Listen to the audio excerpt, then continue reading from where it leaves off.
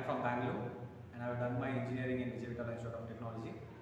And JSpiders is the very good place to achieve your goals and they teach very good technical skills. Uh, my friend referred here, he got placed in two months, uh, which is uh, which got me like very jealous and I want to join and to get job. So I joined here before uh, like seven months because I have less percentage. I didn't get placed very fast.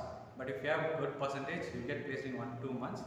Uh, if you have 50%, attend all the requirements and you will get job easily.